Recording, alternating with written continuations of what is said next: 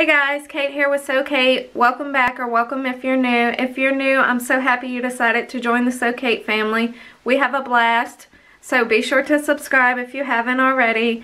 Um, today is going to also be a blast because we're tackling my craft room closet.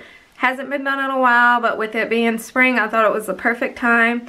And I wanted to bring you guys along, um, maybe give you some cleaning motivation. But like I said before, stick around to the end and let's go ahead and get started. Yay!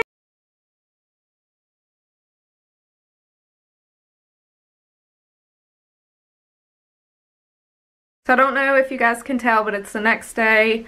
It was a little late after Kyle and Everett put the coat rack up, and I figured that we could finish it off today. I'm going to go ahead and take most of the stuff out of the closet, and then we're going to go up in there, and whatever's left, um, organize and wipe down. So let's go ahead, get started again, and finish it up.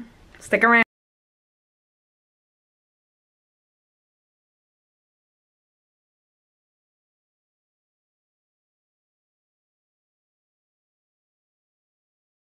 This is what it looks like with most everything out of the closet. We're going to go ahead and take a peek in there and see what we want to do, but I just wanted to show you guys how much stuff was in that little closet. It's crazy.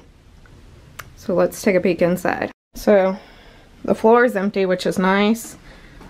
I think I'm going to leave my scrapbooks on the shelf. That shelf is pretty empty. It's got my baby books, like I said earlier, and I might go through this. I think I might leave that there.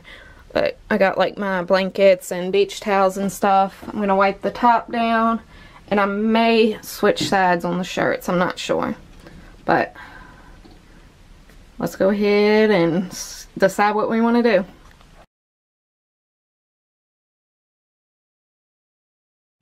It looks way better and more organized.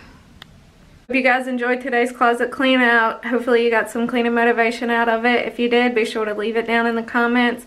If you haven't subscribed, subscribe. Leave me a big thumbs up and hit that bell. See you guys next time. Bye.